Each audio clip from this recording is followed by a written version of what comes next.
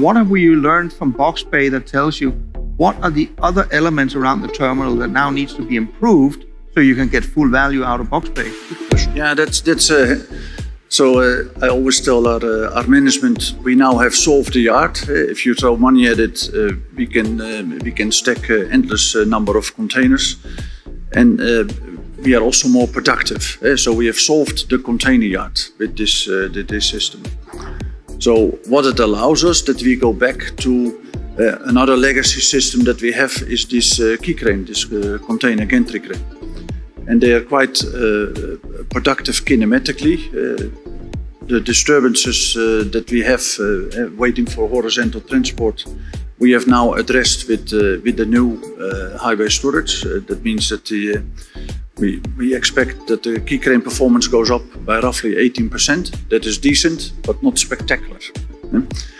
And uh, we're now looking at a new uh, type of, uh, of quay crane. Um, we have ideas how we want to set it up with, with suppliers that we want to use for that. and we want really we want to push the boundary on that. in our industry, what we are lacking is, is that we push hard the boundary that we're so uh, the status quo that we have so much uh, gotten used to. We are very risk adverse and uh, that's why we need more like guys like Elon Musk to push a bit harder and uh, to go uh, to levels that uh, that in the end also uh, your wallet will will really like you. We would not have come so far as we currently are when the setup of a let's say party coming from outside of this market bringing a technology which is known since the last 30 years in a complete other industry. Well, even a steel factory is not a clean place.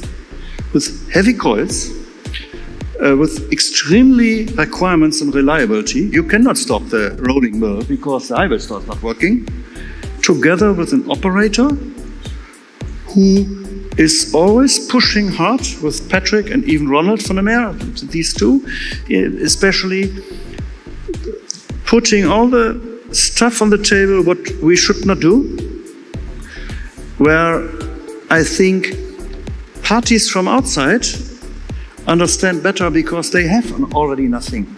You can, if you have something already, well, you want to maintain it and slowly develop it. But if you come from scratch from something new, well, that is a big chance. We both experienced that when we started our career at ECT. ECT, we said it in the morning. And then, of course, uh, now it's uh, interesting to do that again.